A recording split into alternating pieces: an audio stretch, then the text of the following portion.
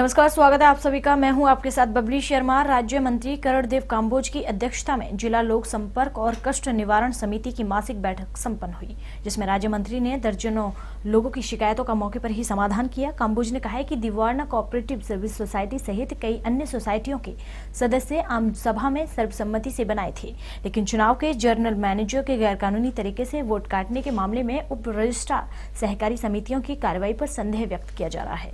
इसलिए इस मामले की निष्पक्ष जाँच के लिए उप रजिस्ट्रार कोऑपरेटिव सोसाइटी और कष्ट निवारण समिति के दो सदस्यों के नेतृत्व में कमेटी गठित करने के आदेश दिए हैं और इस कमेटी को पंद्रह दिन के अंदर जाँच रिपोर्ट सौंपने का समय दिया। आज अपने जिला कष्ट निवारण समिति की बैठक में तेरह जो है ना वो प्रेस की कंप्लेंट्स थी और तीन हमारी पिछली जो है ना लंबित शिकायतें थी। कुल मिलाकर के 16 शिकायतें थी, जिनका जो है ना यहाँ सुना गया। और कुछ कंप्लेंट ऐसी थी, जिनमें हमने अपने कुछ कष्ट निवारण समिति के सदस्य और कुछ अधिकारियों को लगा करके उनमें हमने इंक्वायरी मार की है। और कुछ कंप्लेंट्स ऐसी थी, जो जिनका समाधान जो है ना निकल गया है, उनको पाई जाती है। वहीं हांसी को जिला बनाने की मांग को लेकर संघर्ष समिति के अध्यक्ष राम निवास फौजी का लघु सचिवालय के बाहर सरकार के खिलाफ अनिश्चितकालीन आमरण अनशन जारी है। तो वहीं हरियाणा प्राइवेट स्कूल संघ और कांग्रेस पार्टी के नेता ने राम निवास फौजी की मांग का समर्थन किया और कांग्रेस पार्टी के वरिष्ठ नेता विनोद मेहता और पूर्व पिछड़ा वर्ग आयोग के सदस्य तेलू राम जांगड़ा ने भी बताया कि जिला बनाओ संघर्ष समिति पिछले पाँच सालों से संघर्ष कर रही है। इनका मांग कांग्रेस पार्टी समर्थन करती है क्योंकि हांसी हरियाणा की सबसे बड़ी तहसील है। प्रदेश की खट्टर सरकार ने नारनौंद में तहसील बना दी, जिससे हांसी का व्यापार खत्म होने की कगार पर है। उन्होंने कहा है कि बीजेपी सरकार का विधायक न होने के कारण हांसी से सौतेली जैसा व्यवहार किया जा रहा है। अगर बीजेपी सरकार इसे जिला घोषित नहीं करती है तो आने वाले लोकसभा चुनावों में हांसी की जनता चुनाव का विरोध करेगी। हम जो जिला बनाओ संघर्ष समिति है, उसको ये समर्थन देते हैं कि भारतीय जनता पार्टी अगर हांसी को जिला घोषित कर देती है तो इसमें कोई दो राय नहीं कि आने वाले इलेक्शन में हम आने वाले इलेक्शन में हम आँख बीच के भारतीय जनता पार्टी का समर्थन करेंगे, वोट भी देंगे, सपोर्ट भी करेंगे।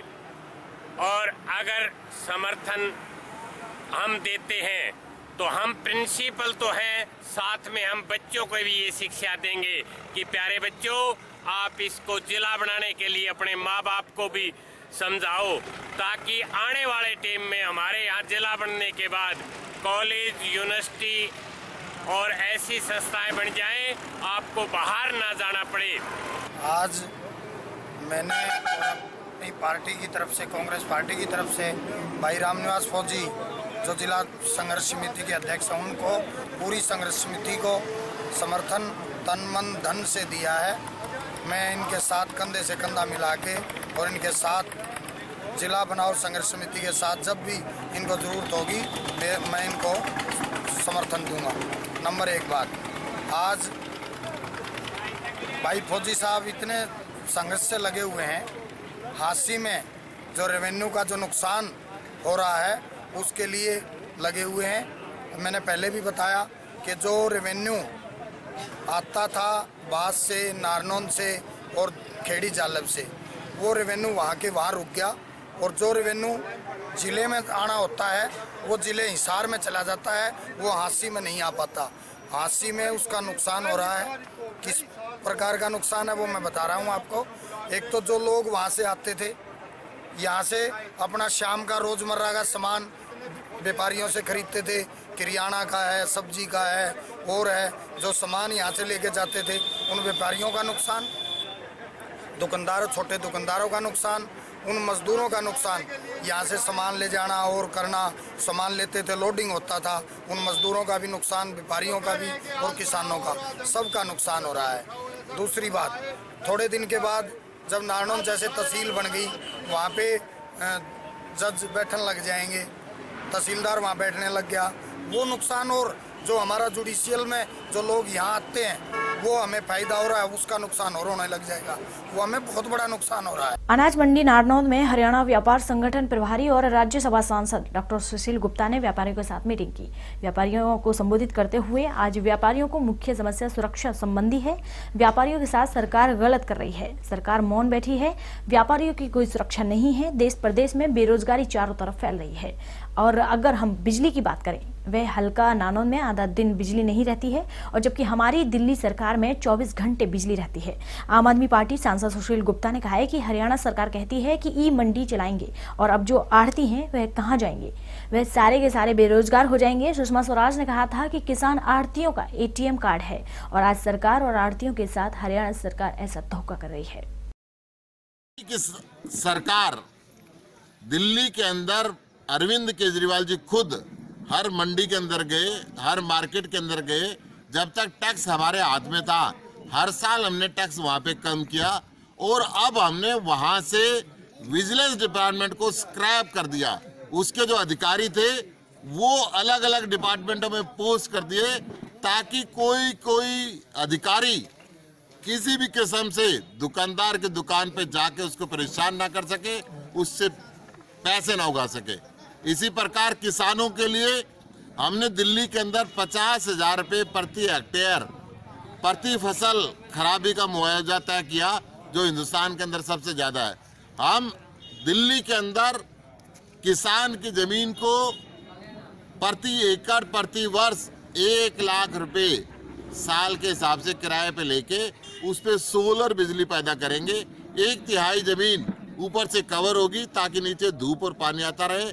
किसान उस ज़मीन पे खेती करता रहे, उस खेती में जो बिजली लगेगी, उसको मुफ़्त देंगे और उस बिजली की दो रुपये यूनिट हमारे पास कोस्ट आएगी, सारे दिल्ली को वो देंगे और किसान की आमदनी बढ़ेगी। मैं कहता हूँ, ये सारी योजनाएँ हरियाणा के अंदर भी लागू हो सकती हैं। अगर खट्टर सरकार की नीयत ठीक हो, मोदी सरकार की नीयत ठीक हो। वहीं हिसार विधानसभा चुनाव से पहले बीजेपी के बड़े बड़े नेताओं ने लिखित में वायदा किया था कि बीजेपी की सरकार बनते ही पहली कलम से गेस्ट टीचरों को नियमित करेंगी। लेकिन चार साल का समय बीत जाने के बावजूद भी नियमित करना तो दूर सामान, समान काम, समान वेतन भी नहीं दिया जा रहा। हरियाणा अतिथि अध्यापक संघ के प्रदेश प्रवक्ता डॉक्टर अजय ने वित्त मंत्री कैप्टन अभिमन्यु के नाम ज्ञापन सौंपते हुए कहा है कि अगर सरकार ने समय रहते उनकी समस्याओं को उनके नियमित नहीं किया तो वो आंदोलन को तेज करने के लिए मजबूर होंगे। इस दौरान उन्होंने वित्त मंत्री कैप्टन अभिमन्यु के नाम एक ज्ञापन सौंपा। हरियाणा के सरकारी स्कूलों में अपनी सेवाएँ दे रहे करीब चौदह हज़ार गेस्ट टीचरों एक बार फिर आंदोलन की राह पकड़ रहे हैं। नियमित करने की मांग को लेकर गेस्ट टीचरों ने सभी नब्बे विधायकों को ज्ञापन सौंपा। पिछले तेरह सालों से हरियाणा के करीब चौदह हज़ार गेस्ट टीचर नियमित करने की मांग कर रहे हैं। हरियाणा के तकरीबन चौदह हज़ार गेस्ट टीचर पिछले तेरह सालों से सरकारी स्कूलों में अपनी सेवाएँ दे रहे हैं। और विधानसभा चुनाव से पहले सरकार के बड़े से बड़े नेता ने वायदा किया था कि बीजेपी की सरकार बनते ही पहली कलम से सभी गैस टीचरों को नियमित किया जाएगा। लेकिन बड़े शर्म की बात है, बड़े दुख की बात है, चार साल का समय बीत जाने के बावजूद भी गैस टीचरों को नियमित करना तो दूर की बात, समान काम, समान वेतन तक नहीं दिया है।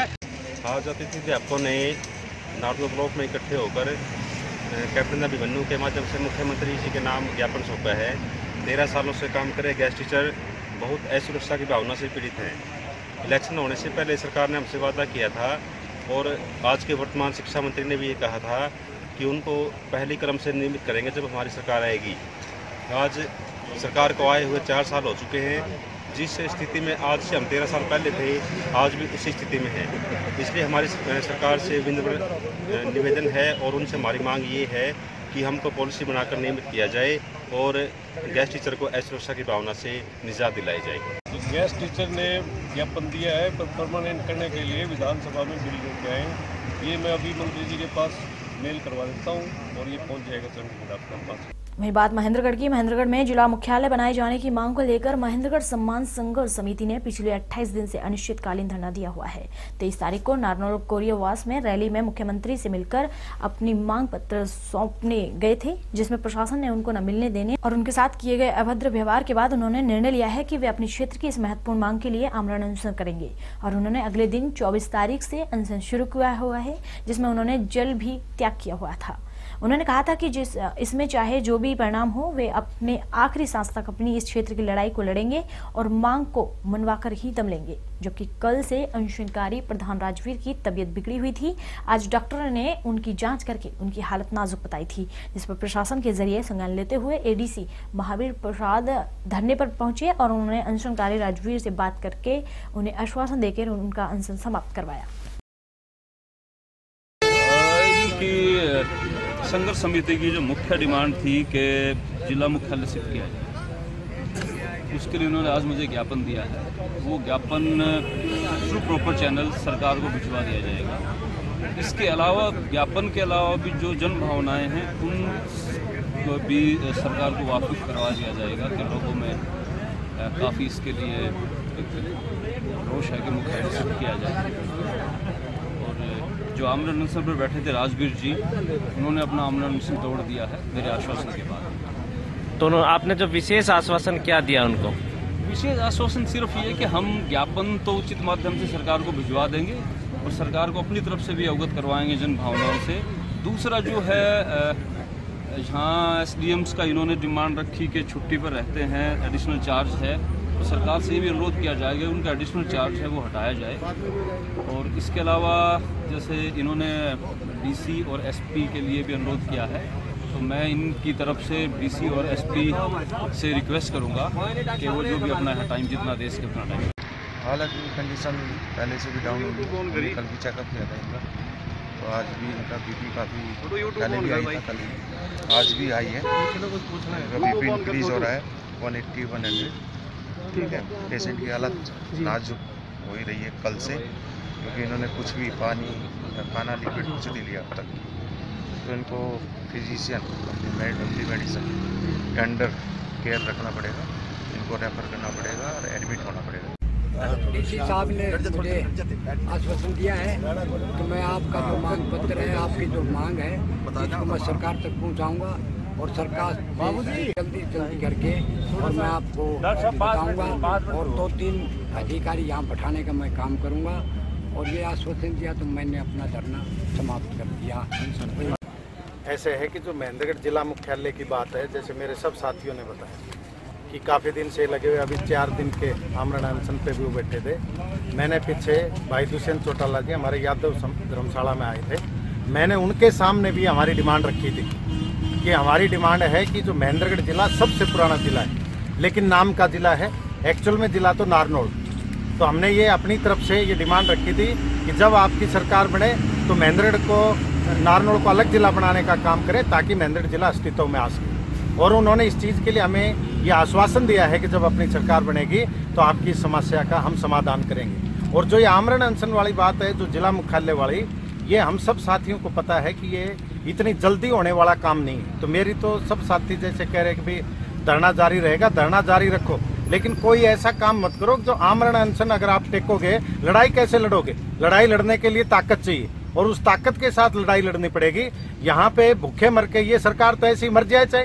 वो जो गऊ के उसके लिए जो बाबा बैठा था वो वो महंत जी वो मर के गोपाल दास जी। इनको क्या फ़र्क पड़ा? गाय के उसमें कोई समाधान नहीं हुआ। यहाँ की जो सरकार है, ये गुंगी बहरी सरकार है। यहाँ के जो हमारे स्थानीय विधायक हैं, जो मंत्री हैं, इन्होंने कोई चीज़ पे नहीं तो अब तक वो यहाँ से वोट लेकर के पहले भी बने, अब फिर बन गए। अब मंत्री भी हैं। उनका फ़र्ज़ बनता था कि पहले दिन इनसे आके मिलते। निश्चित तौर से रंग लाएगा ये। और जिस तरीके से एक महीना आप बता रहे थे यहाँ पे धरना चला और चार दिन अनशन। और वो अनशन भी हमारे प्रधान राजवीर एक्स सरपंच साहब ने इसलिए किया क्योंकि हम मुख्यमंत्री के समक्ष एक मांग पत्र लेके गए थे जिला मुख्यालय के लिए।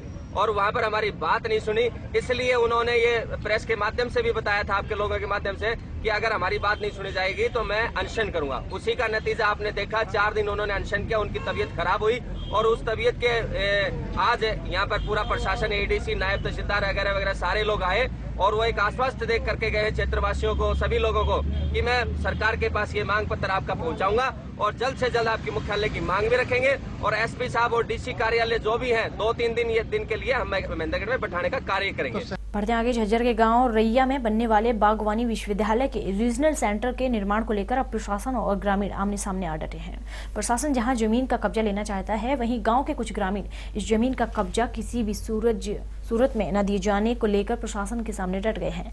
हालाँकि विरोध करने वाले ग्रामीणों की संख्या काफ़ी कम है, लेकिन इन सबके बावजूद भी जिला प्रशासन की ज़मीन का कब्जा लेने में भारी दिक्कतों का सामना करना पड़ रहा है। गुरुवार को हुआ भी ऐसा ही, जब जिला प्रशासन के अधिकारी गाँव रैया में भारी पुलिस बल के साथ यहाँ बनने वाले रीजनल सेंटर की ज़मीन का कब्जा लेने पहुँचे। तो इसके विरोध में ग्रामीण आखड़े हुए।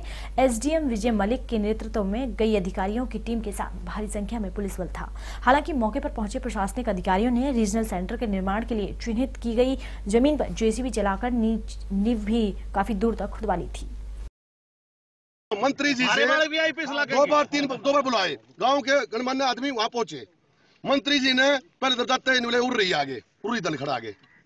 दूसरी बात उनसे बताई अगर आप जो बात हुई उनसे अगर आप मुआवजा दो और भाई लिखते में नौकरी दो तो भाई हम ये ज़मीन देने के लिए तैयार है। पहली पहली मीटिंग में बता रहा हूँ उनको फिर उन्होंने कहा नहीं इसमें एक झूठा फ़ोन मिला दिया पाँच सौ नौकरी मिल जाएँगी हज़ार नौकरी मिल जाएँगी। बोले जी ठीक है तुम कब्जा तुम काम चालू करो ऐसे मतलब कुछ ठोस बोले।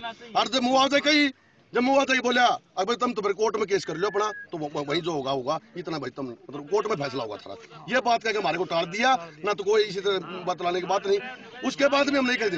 भाई नौकरी चाहे हम किसी और ने कोई दिक्कत साठ एकड़ ज़मीन का रेट है जी। आज से चार साल पहले नरेश दलाल ने सत्तावन लाख रुपए प्रति एकड़ के हिसाब से करो दो पे एक किला फंड था साढ़े छह किले में।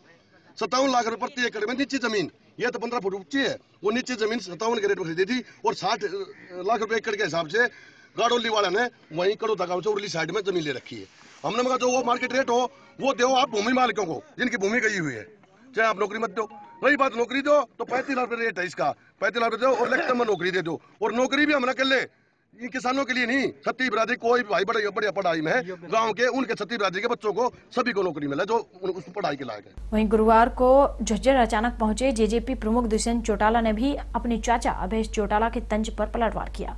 दुष्यंत चौटाला ने जेजेपी कार्यालय में कार्यकर्ताओं के रूबरू होने पहुँचे थे जहाँ उन्होंने कहा की जिस चाचा यानी अभय चौटाला जी बच्चों की पार्टी बता रहे हैं, यही बच्चों की पार्टी हरियाणा में परिवर्तन लाएगी। उन्होंने कहा है कि आज हरियाणा में जेजेपी जनता के दिलों में अपनी पहचान बना चुकी है और वह दिन दूर नहीं है जब उन्हें पार्टी से बाहर का रास्ता दिखाने वाले खुद अपने फैसले पर पछताएँगे। उन्होंने साल 2019 में हरियाणा के अंदर जेजेपी की सरकार बनने का दावा किया। यहाँ उनका पहुँचने पर जेजेपी कार्यकर्ताओं ने जोरदार स्वागत किया। बाद में दुष्यंत चौटाला गौशाला झज्जर के पूर्व चेयरमैन की मृत्यु पर शोक जताने के लिए जेजेपी नेता संजय कबलाना के निवास स्थान पर पहुँचे। उसके बाद दुष्यंत चौटाला गाँव क्लोडमी पहुँचे और यहाँ उन्होंने तीन रोज पूर्व सड़क हादसे में मारे गए। एक ही परिवार के आठ लोगों की मौत पर शोक जताया। तो कहते थे कि ये 200-300 बालकों का टोल है। अगर 200-300 बालक मिलके लाखों की भीड़, जींद की धरती पर इकट्ठी कर सकते हैं तो मान कर चलो, फिर इस प्रदेश में परिवर्तन भी लेकर आएँगे।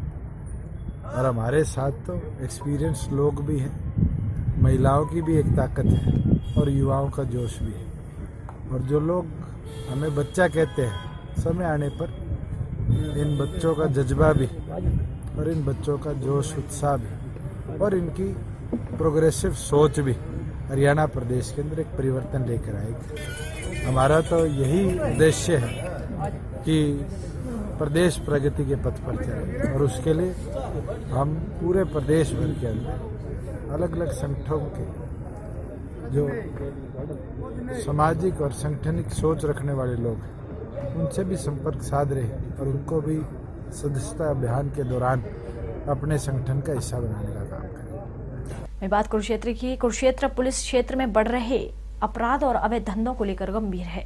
कुरुक्षेत्र पुलिस अधीक्षक सुरेंद्र पाल सिंह ने आज पत्रकार वार्ता जानकारी देते हुए बताया कि पुलिस ने अलग अलग जगहों पर लूटपाट, गहनी चोरी समेत अनेक संगीन आपराधिक वारदातों को अंजाम देने वाले ग्रहों के पाँच लोगों को पकड़ लिया है।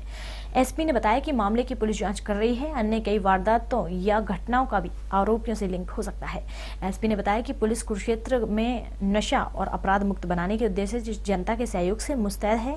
एसपी ने दावा किया है कि वो क्षेत्र में शांति और कानून व्यवस्था को लेकर पूर्णतः गंभीर है। जो सिटी एरिया में उन्होंने वारदात की थी, एक सुखविंदर कौर पत्नी काबिल सिंह है, जो गामड़ी गाँव के रहने वाली हैं। वो उनके बच्चे फ़ौरन में रहते हैं। तीन नौजवान लड़के, जिसमें दो अंदर गए, एक बार रैकी के लिए खड़ा हुआ। गन पॉइंट पे चोट मार के इन्होंने ज्वेलरी और वो चीज़ लूटी थी उनके घर में जो कैश था। वो हमारी सी आई ने ट्रैप लगा के अभी उस केस को पकड़ा, जिसमें उन्हें कट्टा जो यूज़ हुआ था। और प्लस जो ज्वेलरी थी, उसको हमने बरामद कर लिया। और उससे कई केस और खुलने की संभावना है। एक तो ये हमारा बड़ा, बड़ी कामयाबी है इस केस में। कुरुक्षेत्रा पुलिस की। और इसके अलावा एक हनी ट्रैप के केस थे, चार केस थे। वो हमारी सी वन ने पकड़े हैं, जिसमें अक्यूज़ पकड़े जा चुके हैं, जो किसी से लिफ्ट मांगते थे लेडी लिफ्ट मांगती थी। उसके बाद वो गाड़ी कोई लिफ्ट देता था, उसके बाद आगे जाके उस बंदे को लूट लेते थे। वो भी हमने पकड़े हैं, उसमें भी हमारी काफ़ी रिकवरी हो चुकी है। और इसी तरह सी आई ने एक स्नैचिंग का गैंग पकड़ा है जो बैंक से कोई पैसे निकालता था, या कहीं ट्रांजैक्शन के लिए कहीं जा रहा होता था, उसके पीछे लगा के गाड़ी या मोटरसाइकिल तो वो उस चीज़ को रोक लेते थे और उसके साथ वारदात करती जिसमें उन्हें चार अक्यूज़ पकड़े, जिससे हमारे चार पाँच केस खुल गए और भी खुलने की संभावना है, इसलिए कुरुक्षेत्रा पुलिस के, ने काफ़ी कई कामयाबी प्राप्त की है, इस तरह काफ़ी अक्यूज स्नैचिंग वाले और इस तरह की वारदात करने वाले हमने पकड़े हैं। पानीपत के हल्दाना बॉर्डर के पास हिमाचल रोडवेज़ के रोहडू डिपो में बस से ट्रक की टक्कर हो गई। हादसे में बस में सवार दो लोगों की मौत हो गई। बस हिमाचल से दिल्ली की तरफ़ जा रही थी। समालका के हल्दाना बॉर्डर के पास ट्रक ने बस ओवरटेक करके बस के सामने ब्रेक लगा दी और बस की ट्रक टक्कर से हो गई। हादसे में बस के कंडक्टर राज सिंह की मौके पर ही मौत हो गई और ड्राइवर जुगदीश की रोहतक ले जाते समय मौत हो गई। मृतक को पोस्टमार्टम के लिए अस्पताल के शव गृह में रखवाकर जाँच शुरू कर दी है। ट्रक चालक ट्रक को छोड़कर मौके से फरार हो गया। ये रोडू डिपो की बस थी हिमाचल रोडवेज़ की, जो सुबह आ रही थी हिमाचल से। तो उस पट्टी कल्याणी के पास ट्रक के साथ इसका एक्सीडेंट हो गया है। उस एक्सीडेंट में इसमें कंडक्टर और ड्राइवर जो एक्सीडेंट में चोटों के कारण मर गए हैं। मौत हो गई उनकी। डेड बॉडी अपना जीएच पानीपत में मैंने पोस्टमार्टम करा दिया है और एक डेड बॉडी पीजीआई रोहतक है। वो यहाँ से गए थे तो दौरान इलाज मृत्यु हुई उनकी तो। ट्रक वाले की गलती है ट्रक वाले ने बस को एकदम क्रॉस करके ब्रेक लगा दी एकदम से तेज। अच्छा जी। तो तेज ब्रेक लगाने के कारण एकदम से बस वाले ने काफ़ी कोशिश की बचाने की लेकिन जो कि बचाते बचाते भी बस ट्रक में जाके लग गई। कंडक्टर भी आगे बैठा था ड्राइवर भी आगे था वो दोनों को ज़्यादा चोट लगी। कुछ सवारी और भी चोट लगी है।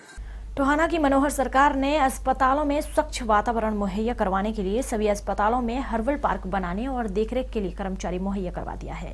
नागरिक अस्पताल में आधा एकड़ से अधिक जगह में हर्बल पार्क बनाकर उसमें दो दर्जन से अधिक तरह के पौधे लगाए जाएँगे। पार्क में नीम, गिलोय, राम तुलसी, श्याम तुलसी, एलोवेरा जैसे कई पौधे लगाए जाएँगे। एसएमओ डॉक्टर सतीश गर्ग ने बताया कि स्वास्थ्य विभाग के आदेश अनुसार प्रदेश के हर अस्पताल में हर्बल पार्क बनाने के लिए आदेश प्राप्त हुए थे। जी स्वास्थ्य विभाग द्वारा हमें टाइम टाइम पे जैसे दिशा निर्देश मिलते हैं कि एक अस्पताल में हर्बल पार्क भी डेवलप किया जाए, उसी के तहत भी हमने कोशिश कर रहे हैं और आगे आगे धीरे धीरे डेवलप कर रहे हैं इसको। काफ़ी तरह की वराइटीज़ हमने इकट्ठी कर ली हैं। गिरजिंदर कुमार अभी जब से हमारे पास आउटसोर्सिंग से माली आया है, इसके आने से हमारे को काफ़ी सहयोग मिला है और ये काफ़ी इंटरेस्ट लेके इसको डेवलप भी कर रहा है। तो सर किस तरह के पौधे यहाँ पे लगाए गए हैं सर? इसमें बताएँगे कि जैसे एलोवेरा है राम और श्याम तुलसी है मरुआ है और लेमन ग्रास है कड़ी पत्ता है आंवला है पावर ग्रेड है ऐसी कई तरह के तो इसका सर जो वातावरण में भी असर पड़ेगा सर जैसे वातावरण में भी पड़ेगा और जैसे जैसे डेवलप हो जाएँगे कोई हर्बल किसी की रिक्वायरमेंट है तो वो भी पूरी होती है। वहीं जींद फरेडकला गाँव में पिछले चार महीने से बुज़ुर्गों विधवाओं को पेंशन नहीं मिली है। गुरुवार को फरेडकला गाँव के 60-70 बुज़ुर्ग और विधवा महिलाएँ डीसी कार्यालय पहुँची और उन्होंने डीसी के समक्ष अपनी व्यथा सुनाई। इसके बाद डीसी अमित खत्री ने जिला समाज कल्याण विभाग अधिकारियों से बातचीत कर जल्द उसकी पेंशन दिलवाने का आश्वासन दिया। बुज़ुर्गों ने चार महीने की पेंशन अटकी हुई है। जब भी पेंशन लेने डाक में जाते हैं तो डाक कहता है की अभी तक उनकी पेंशन नहीं आई है, जबकि उन्होंने उन्होंने पेंशन चेक करवाई तो उनकी पेंशन आई हुई है। जब यह बात डाक कर्मी को बोली जाती है तो वो कहता है कि नहीं, है मेरे पास पैसे, जहाँ जाना है जाओ और जहाँ शिकायत करनी है करो। वह पेंशन नहीं देगा। विधवा चंद्र ने कहा है कि उसका पति कुछ साल पहले बीमारी के कारण चल बसा। उसके छोटे छोटे बच्चे हैं। बिना पेंशन के उन बच्चों को क्या खिलाए? अब तकरीबन तकनीकी खामियों को दूर कर लिया गया है। अब पेंशन बटने में कोई दिक्कत नहीं आएगी। हमारा गाँव की पेंशन है। वृद्धावस्था और ये दूसरी पेंशन दो और हैं। ये गाँव में पोस्ट ऑफ़िस में है और पोस्ट ऑफ़िस वाला बांटता नहीं। क्या कहता है? क्या कहता है कि जो कुछ करना कर ले जहाँ जाना हो जाओ। क्यों कहता है वो ऐसा? इनको पैसे नहीं आए। पीछे से पैसे आ रहे हैं? हाँ पैसे तो आ रहे हैं। पैसे अगस्त लग के तो बैंड रखी है। बाकी आगे नहीं। कितने महीनों की पेंशन बाकी तीन महीना की बाकी। फ्रेंड से आए हैं पेंशन नहीं मिलती जी। क्या कहता है कहा जी जाड़ जाना उड़ जाओ मेरे पास कोई पैसा नहीं है तीन चार महीने हो गए जी कला से हम पेंशन नहीं मिल रही हमें चार महीने हो गए क्यों नहीं मिल रही पेंशन? जून और जुलाई और अगस्त की दी थी बस ये कहता है पेंशन नहीं मिल रही है जड़ जाना चाहो तो हमें तो घर ना करें जाइए और कंप्यूटर में निकलवाई तो वहाँ आई हुई थी वहाँ पेंशन आई हुई है सारे काम में नहीं दे रही दोनों काम ने क्या कहता है ये कहता है पेंशन नहीं आ रही तो पेंशन डाकखाना के माध्यम से वितरित की जा रही है वहाँ कई गाँव में पेंशन वितरण में समस्याएँ आई हुई हैं। जैसे फरैन कला है फरैन खुरुद है, करमगढ़ है खरकपुरा है। वहाँ जब डाकखाना के उच्च अधिकारियों से करनाल भी पता किया नरवाना भी पता किया तो उन्होंने बताया, हमारे सॉफ्टवेयर चेंज किया था और जो बायोमेट्रिक डिवाइस दी गई थी, उसमें नेटवर्क की प्रॉब्लम थी और वो 90 परसेंट सॉर्ट आउट हमने कर दी है। और उन्होंने आश्वासन दिया है विद इन ए वीक हम ये पेंशन वितरण का पूरा काम कर देंगे। आज भी फ्रैंड कला में पाँच लाख रुपए लेके जो वहाँ का बीपीएम है वो पेंशन बांटने लग रहा है। बीपीएम से मेरी बात हुई है। उन्होंने बीपीएम पर आरोप लगाया कि तीन महीने से हमारे को पेंशन नहीं दे रहा दादागिरी दिखा रहा तरीके से। उसके बारे में भी मैंने बीपीएम से बात की है।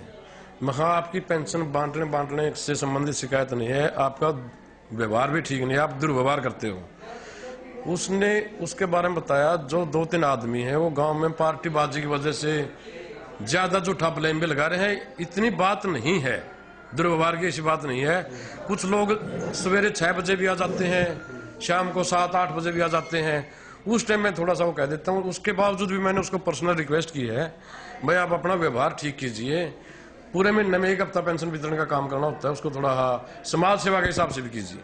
बढ़ते आगे बात कनीना की। कनीना के बिजली बोर्ड में बिजली अधिकारियों ने सरपंचों के साथ मीटिंग कर लोगों को बिजली बोर्ड की ब्याज माफ़ी योजना के तहत तो उसका फ़ायदा उठाने के बारे में जानकारी देते हुए संजीव चोपड़ा ने बताया कि आज हमने यहाँ मीटिंग का आयोजन किया है। उसमें हमारी यूनियन के बहुत ही सीनियर पदाधिकारियों का बहुत योगदान रहा। हमारे स्टाफ के जितने भी लोग हैं, उन्होंने सभी घरों में चार पाँच बार जाकर उन लोगों को बताया है और सभी सरपंचों को लिस्ट दिया है कि आपके गाँव में इतने बिल अभी बचे हुए हैं। हमारा उद्देश्य यही है कि आज किसी प्रकार इस मीटिंग में हम यह योगदान दे सकें कि हम सरपंच के माध्यम से सभी गाँव में डिफॉल्टर ज़ीरो कर सकें। स्कीम बहुत अच्छी स्कीम है। और हम पूरा तन मन धन से स्कीम को कामयाब करने में लगे हुए हैं। हमारे दफ्तर सुबह नौ बजे लेकर रात को नौ बजे तक खुले हुए हैं। लोग रात को भी कोई आएगा बिल भरने और रात को बिल लेंगे। आने वाली छुट्टियाँ जो हैं सैटरडे संडे उनमें भी हम पूरा दफ्तर खोल के रखेंगे। चाहे रात को हमें ग्यारह बजे तक बैठ, बैठना पड़े, किसी भी कंज्यूमर को हम वापस नहीं जाने देंगे। पूरा कॉपरेट सहयोग करेंगे। आज हमने यहाँ पे मीटिंग का आयोजन किया है। उसमें हमारे जो यूनियन के बहुत ही सीनियर पदाधिकारी, महावीर जी ने बड़ा इसमें बहुत योगदान रहा। इन्होंने आज सभी सरपंचिस को, जितने भी आसपास के गाँव के सरपंचों को बुलाया। और हमारे बीच हमारे एससी साहब, नवीन वर्मा जी भी हैं एक्सीएन साहब, सभी हमारे कर्मचारी साथी भी मौजूद हैं। आज का जो मुख्य उद्देश्य था कि जो हमारी स्कीम के केवल चार पाँच दिन ही और रह गए हैं, इकतीस दिसंबर तक की स्कीम है। और हम चाहते थे कि हमने जितनी हमारे स्टाफ ने मेहनत की है, वो उसमें थोड़े से और उसमें बढ़ोतरी हो जाए। हमारे स्टाफ के लोग जितने भी थे, चाहे वो L M lineman D rate के आउटसोर्स के चाहे रेगुलर सभी घरों में कम से कम भी चार चार, पाँच पाँच बार जाके उन लोगों को ये बता आए हैं, सरपंचिस को सभी को लिस्टें दे आए हैं कि भाई आपके गाँव में इतने अभी भी डिफॉल्टर बचे हुए हैं। तो हमारा उद्देश्य यही है कि आज किसी प्रकार इस मीटिंग में अगर हम ये योगदान दे सकें कि हम अपने अपने, हमारे सरपंच के माध्यम से सभी गाँवों में डिफॉल्टर ज़ीरो कर सकें। और अभी जैसे अभी आपने दो मिनट पहले मुझे बताया गया कि यहाँ पे एक चेलावास गाँव है उसमें बिल्कुल डिफ़ॉल्टर जो है ज़ीरो कर दिया गया है। उसमें कोई डिफ़ॉल्टर नहीं बचा और वहाँ के जो सरपंच हैं, उन्होंने बहुत इसमें मेहनत की। तो हम चाहते हैं कि इसी प्रकार की मेहनत और सभी लोग भी करें। फ़िलहाल मेरे साथ इस बुलेटिन में इतना ही। खबरों का सिलसिला लगातार जारी है। नमस्कार।